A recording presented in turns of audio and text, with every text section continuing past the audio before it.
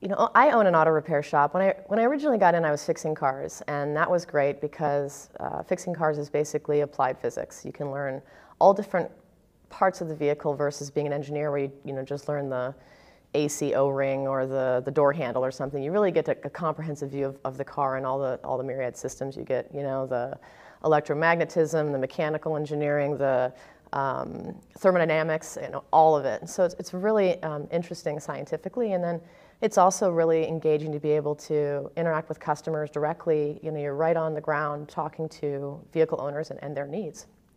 So it's a combination of both communication skills and technical skills.